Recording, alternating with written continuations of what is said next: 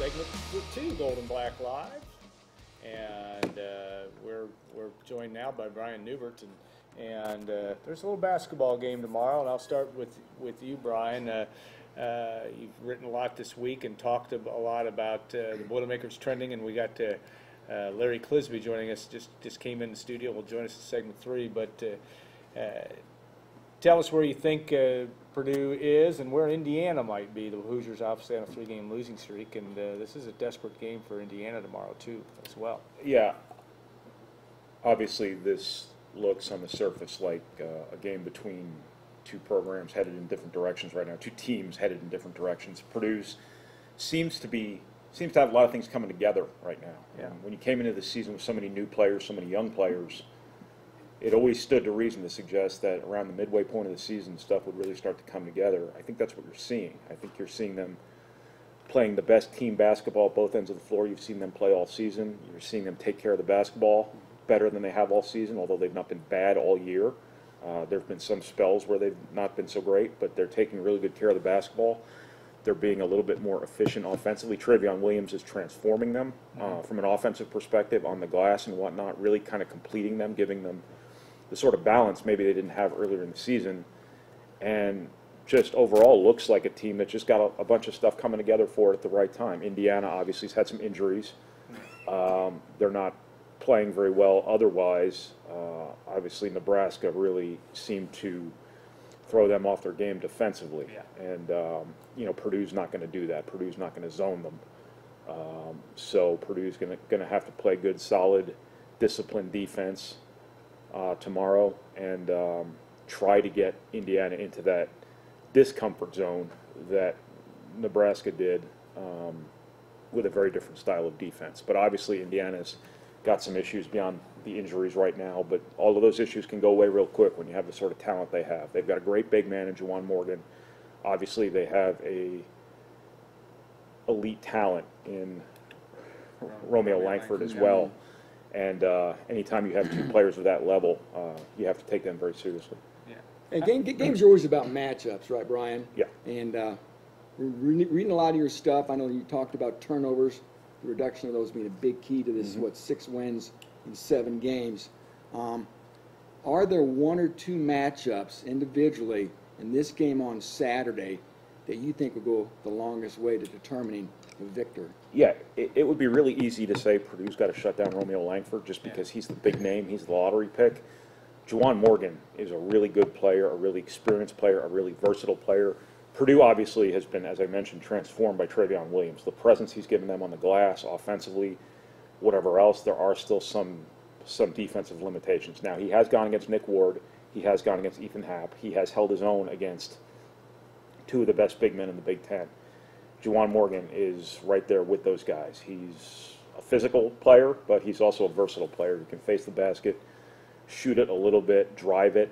Um, he is going to give Trevion Williams a handful from a defensive perspective. But I do think the fact Purdue's got a physical presence now to counter Juwan Morgan really kind of changes the way you have to look at that matchup. But I do think Juwan Morgan is the guy Purdue has to has to do the best job on, and then not let some random guy go off. You know what you can't do is you can't give up five threes to Devonte Green Yeah.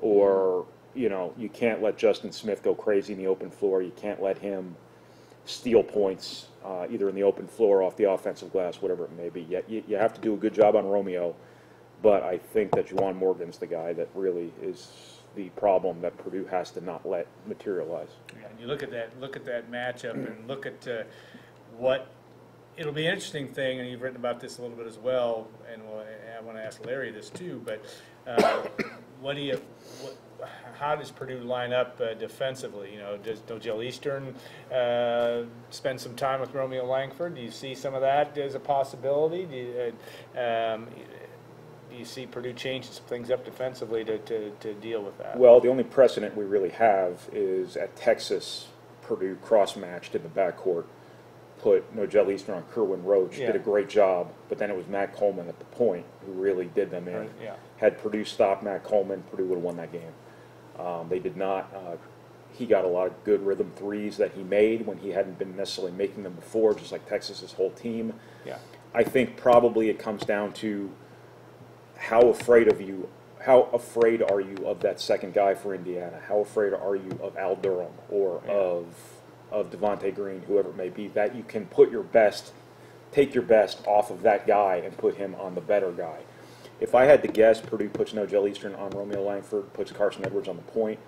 I don't know that for a fact. I do know Nojel Eastern is really good on the ball. That's where his impact has been felt most and is felt every single game for Purdue. Um, I know it's always been a big part of his defensive philosophy to disrupt the other team from, um, you know, kind of getting into their offense smoothly. Right. Not to say Carson Edwards couldn't do that if he were guarding the one as opposed to Nojel Eastern, but Nojel Eastern it might be the best Painter's ever had at Purdue at doing that. That's an awful big statement, but I think he either is that right now or he's certainly going to be in the future. Who needs to be that sidekick Saturday? We know Carson Edwards is going to get his 20 to 24 points. Uh, who needs to be, I guess, his Robin, so to speak? Who has the best chance to have that next best game after Carson Edwards? Is it going to be Williams inside? Will it be Ryan Cline? Is there a matchup for one of those two guys or somebody else? You think for them to step up and have a big game on Saturday, maybe to complement Right. Carson Edwards? Well, I think that from day one, that guy's been Ryan Cline. Uh, he's shooting, I believe, 52% from three point range since Big Ten play resumed. He's shooting the ball really well. I don't know if there's a broader picture reason for that, but when you look at the way Purdue's playing offensively, they're playing more cohesively, I think, than they ever have this season. I think when you looked at the Rutgers game, that was their best ball movement game of the season. I think you saw some of that too at Wisconsin at times, maybe not at other times. I know Michigan State's still fresh in everybody's mind, Right. but by and large, this Big Ten season, since it resumed, uh, Purdue has looked more like last year's Purdue team as opposed to the brand new, uh, at times not so functional team that started this season. So I think that's probably played into Ryan Cline's play lately and, and kind of bodes well for him uh, kind of moving forward. But also when you look at Trevion Williams, what he's done, you know, you're probably, you might not be far off from it getting to that point where people start throwing double teams at him. And he's been making pretty good decisions and he's been getting the ball Yeah, moving. yeah, and when yes, that happens, absolutely. as Purdue showed better than anybody in the country the last couple years before this one, when that ball gets moving and you make good decisions and you make basic plays, people get wide open shots. And Ryan Cline can make those shots. Sasha Stefanovic can make those Yeah, I shots. saw that. Purdue's got a bunch of guys who can make those shots, and Purdue shoots pretty well in Mackey Arena this year. Purdue plays much better in Mackey Arena um, based on their body work thus far than they do elsewhere. I think that bodes well for tomorrow. But to get back to Tom's question, I would probably say Ryan Cline. Yeah, I want to ask Tom a question because we talked about a little story on the site with the history of this uh, series, and there have been so many games, and Larry Clisby can weigh into some of the great ones as well. It all means we've been around a long time, I guess, and that's a good thing. But you know, pent up great environments. Tomorrow with the weather, it could be nutty in there in terms of, and you've seen some ones, and I've seen some ones. Uh, uh, there's just nothing quite like Purdue and Indiana. No, I, I- I made a comment on the message board um, about going back to the 1980s when IU'd come into Mackey Arena about five minutes before tip-off. The teams are warming up, and Bob Knight would come strolling out of that tunnel in a red Yeah. sweater, and just a cascade of boos Yeah. that would rain down on him. Just the energy, uh, the lightning rod that he was, that he brought to that rivalry, really made it special in that era. But you're right, Alan. We've been uh, privy uh, to a lot of these games over the years, in right. Mackey in particular. I talked about 1992, a very pedestrian Purdue team that went to the NIT. Last game of the year, senior day, they knock off number four Indiana, 61 to 59. The fans actually rushed the court. That was a, a loss that cost Indiana the Big Ten title, cost Indiana a number one NCAA seed. And again, it was an IU team that was extremely talented. It did go on to the Final Four that year. Yeah, right. So that was that was a fun Yeah. game. 1988, of course, the last time the triplets, you know, Troy Lewis, Todd Mitchell, Stephens, they clobbered IU over here in Mackinac. It was a lot of fun. So I could go on and on, but those were a couple that, that really stick in my head. Then the Glenn Robinson team in '94 Yeah, yeah. came back from 10 points down in the second half. I think he had 33 points in that game. Special too. Yeah, 20 below zeros. I remember the weather that one uh, it as well. The, another crazy weather day.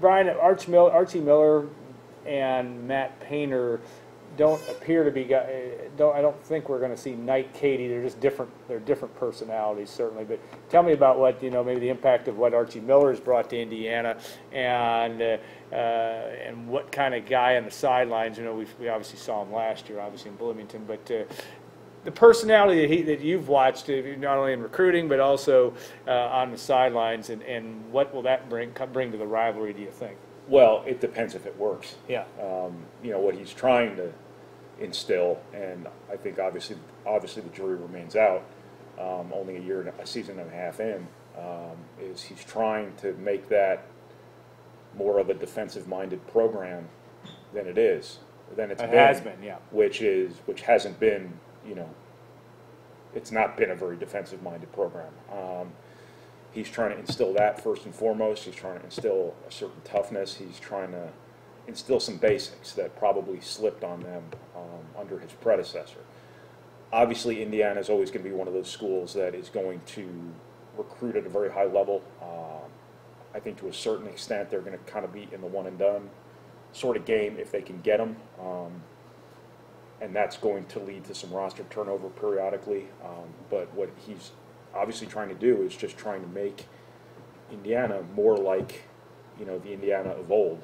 Not the Bob Knight Indiana, Yeah. but some of those general principles about Yeah. toughness, playing the game the right way, playing playing defense, playing defense especially. Um, and obviously, obviously, time will tell uh, if that works or not. You know, he's he's had to recruit a- a higher level of player uh, to come in and play right away here in the situation he's in because he wasn't left with a whole lot other than Juwan Morgan. Um, a lot of the freshmen he needed to probably be pretty significant contributors this season, you know, for whatever reason, um, haven't been, in part because of some injuries. Jerome Hunter probably Yeah. would have helped them quite a Oh, bit. yeah, no. Uh, obviously, uh, obviously, Robert Phinisee's coming off the concussion. Damezi Anderson's just probably not ready.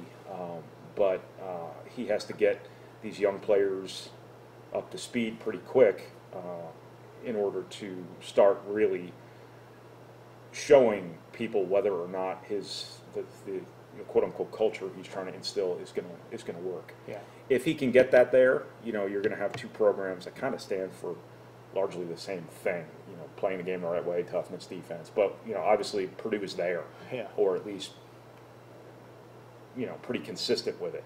Um, obviously, the, the personnel changed pretty considerably this year, but if Indiana can get there too, that you know the rivalry is going to be going to be a lot of fun again. All right, what are we, what are we gonna see tomorrow? I'll start with you, Brian. I mean, I I know you- you'll be Yeah, Purdue plays. Purdue has been really good and really consistent at home uh, all year long. Uh, obviously, this is going to be uh, a pretty great environment. You know, I don't know how much this really matters. Indiana doesn't have a lot of guys who've played in this game.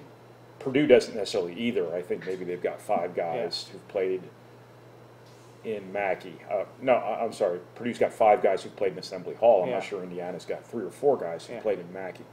So it's going to be, you know, I, I think the home court advantage is going to be significant for Purdue. They play better at home. They seem to make better decisions at home. They play together better at Yeah. home. Um, they're playing well right now, too, on top of that. Obviously, Indiana's got some injury issues. I think, you know, Purdue is catching them at a good time because they're struggling a little bit. They've lost three games in a row. They've got some health issues. I just think the way Purdue is trending, when framed up against the way Indiana is trending, um, it would seem like you know all signs point to Purdue. But when you have talents like Juwan Morgan and Romeo Langford, you know, you never take anything for granted against them because because Romeo Langford's the best freshman scorer this league has seen since D'Angelo Russell, if not a Yeah. better one, and he can get you 30. Um, and if he does, obviously that changes the complexion of the game entirely. Tom, You never know. quickly, what do you, th- Yeah, what do you real quick, we talked about turnovers. I think that that'll be the difference for Purdue. Brian also talked about Purdue's ability to show it can shoot well at home in Mackey Yeah. Arena too. I think that's going to be the difference. The inexperience of Indiana in this big game environment, in that atmosphere on Saturday afternoon. Yeah. Purdue's ability to, to move the ball, get open shots, and hit them in Mackey Arena. And Purdue's ability to limit turnovers, which has been so key during the last month or so to their success, I think are going to be the factors that, that allow Purdue to get out of Mackey with a win on Saturday. It may go into the second half because Indiana is a wounded, dangerous animal at this point. They're Yeah. desperate, so you're going to get their best fight. But again, it's going to be a dogfight, but I think in the end, those last five minutes, you see Purdue uh, pull it out. All right, all right. We will uh, look forward to uh, watching that. That'll be less than 24 hours from now in Mackey Arena. All right, we're to take a short break, bring in Larry Clisby, and he's got uh, some things to say and a little bit of a knowledge base about uh, Purdue basketball. The legendary uh, play-by-play announcer will join us in the third and final segment of Gold and Black Live. Stay tuned. We'll see you in a couple minutes.